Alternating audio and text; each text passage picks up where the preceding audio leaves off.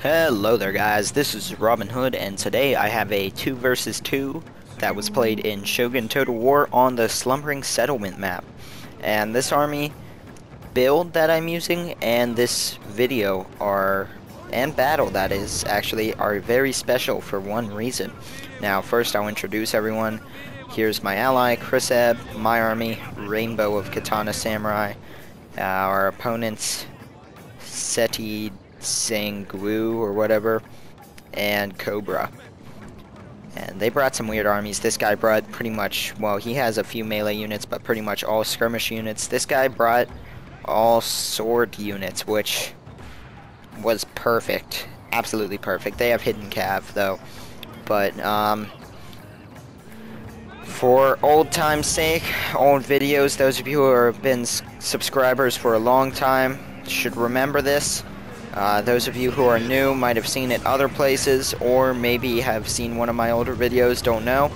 But one of the old army builds that was fairly infamous, no, not Lone Sword Spam, and uh, fairly useful actually, is what you see here, the Katana Cav Horde. I used to bring five, this battle I brought four, uh, usually you don't bring skirmisher units because it's a massive rush army. I brought one though because it's almost a necessity these days. Then my other cav here trying to chase off his bow cav. But the Katana Cav Horde special to me. I won so many battles with it and cavalry, my favorite thing on the planet in pretty much any Total War game. Because I don't know, it's just so fun to use Cav. It allows you to use your micro better than almost any other unit, in my opinion. And, uh, I just love using cavalry. Like, cavalry is my thing. So, this battle, I was like to Chris, we'd played a few battles, I'm just like, dude, we might lose this, but I am gonna bring back my Katana Cav Horde. And what that involves is spears for guarding your rear, Katana Cav, obviously, and then Katana Samurai to follow up. Now, Katana Cav, uh, you, even if there's spears there, the thing that I love about Katana Cav, when you bring them in mass like this, uh, I used to bring, like I said, five to six of them, so that could really cause trouble, especially when you can micro them really well. And I have made a point in my Total War Shogun 2 days to get fairly decent, not the best, but pretty darn good at Cav Micro. Have some older videos of me tearing apart armies with Cav. Uh, just Cav, pretty much, even though I had a main army. But, you charge this, especially into an all-sword army, it's gonna wreck. That's why I was so happy when I saw this. Second of all, it causes so much confusion, bottles up their army so that when your samurai hit, uh, they're pretty much done for. Now, the reason I was nervous about bringing this is because of some of the Naginata builds that you see today that are, for some reason, very popular, although I find them not to be that effective, uh, even when they're used well. Yeah, and there's heavy gunners somewhere causing problems yeah, got some of my cav as, as I sent it over to join in this hidden cav fight. Or by hidden, I mean my opponent's cav charged Chris-Eb's, and uh, it was hidden. So I'm to get a nice flank attack here, and we're really kind of going to cut through this enemy cav. Now, my my opponent also has cav. There's bow cav, and then he has a fire cav hidden which is actually going to destroy my fire cav because I don't see it coming. Yes, my lovely pink fire cav. Wonderful.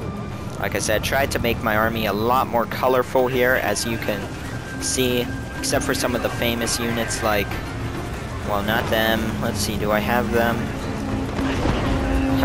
Rawberry. Love that unit name. Nope, don't have any of them with me. But like the Iron Brigade has their set colors, and uh, over here is all this, but here goes. Chris is going to let me charge first all across this line.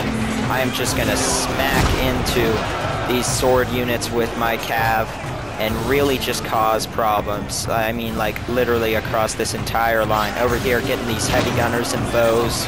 Uh, my Katana Cav might have helped over here in just stopping this gunfire, which is to shred some of my units. This one lost most of its men under that heavy gun fire, as you can see from this trail. But, yeah, this is pretty much a skirmisher-only army. Got my general here, bringing in my attendants, and got my bows firing.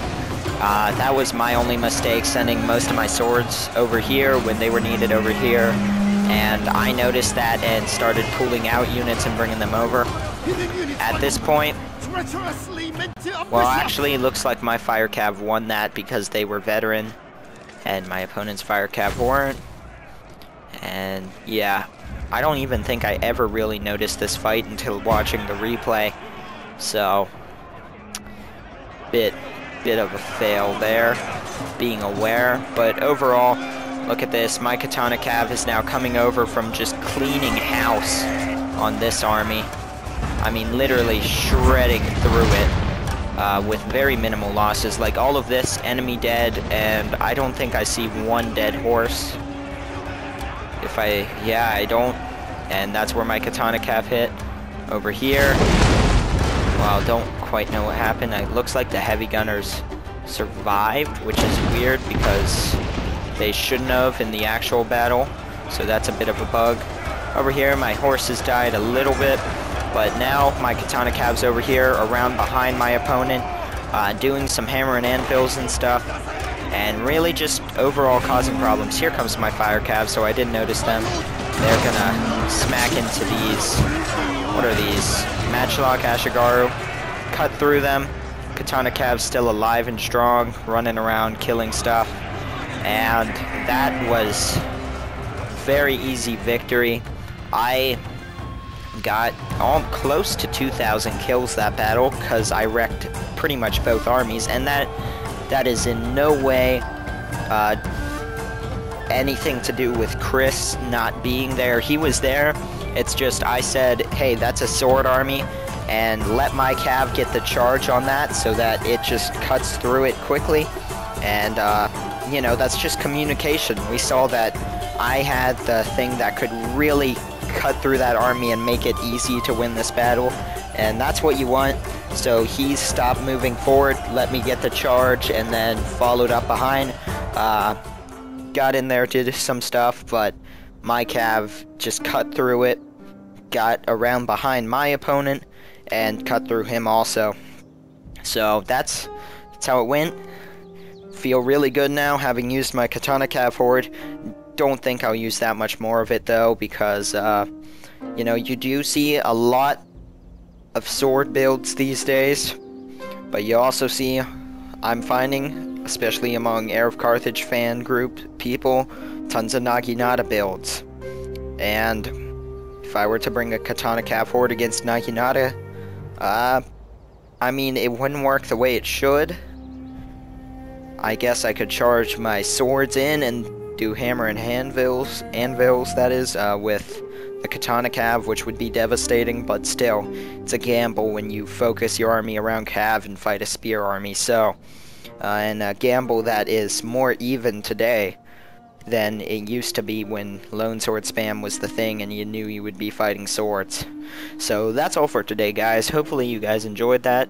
Uh, please leave a rating and a comment and subscribe for more, and I will see you next time.